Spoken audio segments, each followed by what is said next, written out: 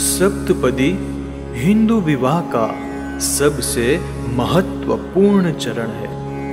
सप्तपदी वैदिक विवाह का अभिन्न अंग है। इसके बिना विवाह पूरा नहीं माना जाता। ॐ एकमिषे विष्णुस्त्वानयतु सा मामनुव्रता भव।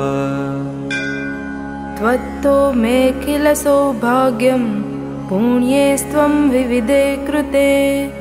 देवसम्पादितो मह्यं वधूराधे पदे ब्रवीत्।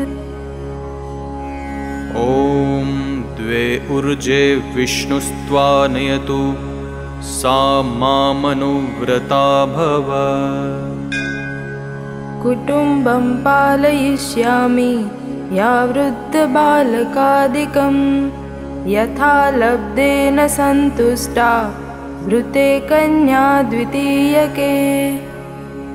ॐ त्रीणि रायस्पोषाय विष्णुस्त्वानयतु सा मामनुव्रता भव। मिष्टान्नव्यञ्जनादीनि काले सम्पादये तव आज्ञासम्पादिनी नित्यं तृतीये सा ब्रविद्वरम् ॐ चत्वारि मायो भवाय विष्णुस्त्वानयतु सा मामनुव्रता भव। शुचिशृङ्गारभूषाहं वाङ्मनकायकर्मभिः क्रीडिष्यामि त्वया सार्धं तुरीये सावदेद्वरम् ॐ पञ्चपशुभ्यो विष्णुस्त्वानयतु सा मामनुव्रता भव। दुःखे धीरा सुखे रुष्टा सुखदुःखविभागिनी। नाहं परतरय्यामि पञ्चमे सा ब्रविद्वरम् ॐ षडऋतुभ्यो विष्णुस्त्वानयतु सा मामनुव्रता भव।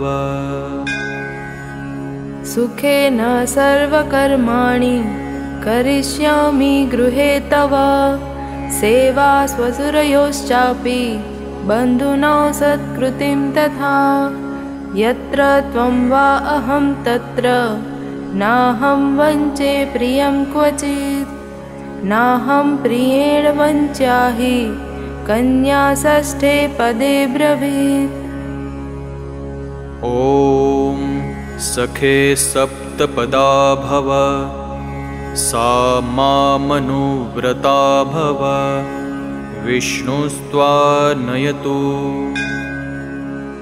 होमयज्ञादिकार्येषु भवामि च सहायकृत् धर्मार्थकामकार्येषु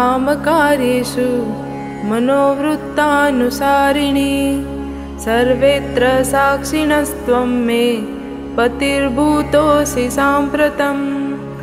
देहो मयार्पितस्तुभ्यं सप्तमे सा